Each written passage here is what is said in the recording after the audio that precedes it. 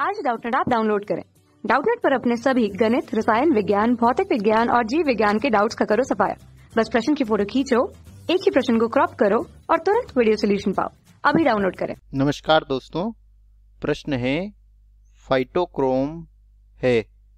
पहला विकल्प है फ्लेवोप्रोटीन दूसरा है ग्लाइकोप्रोटीन तीसरा है लाइपोप्रोटीन और चौथा है क्रोमोप्रोटीन तो दोस्तों, हमें बताना है कि फाइटोक्रोम क्या होता है? तो दोस्तों फाइटोक्रोम जो है, यह एक विशिष्ट प्रकार का वर्णक होता है। ठीक है? जो कि जो पादप की पत्तियाँ होती है, ठीक है? उन पत्तियों की कोशिकाओं की कोशिका झिल्ली से क्या होता है? संबद्ध होता है। ठीक है? किससे संबंध होता है? कोशिका झिल्ली से संबद्ध एक प्रोटीन वर्णक होता है, ठीक? और इसमें क्या जुड़े होते हैं? क्रोमेटोफोर प्रोटीन से जुड़े रहते हैं, ठीक है?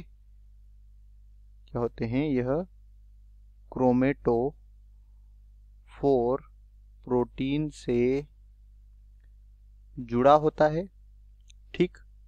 और यह सभी पौधों में पुष्पन के लिए, जो पुष्पी पौधे होते हैं उनमें, पुष्पन के लिए क्या होता है?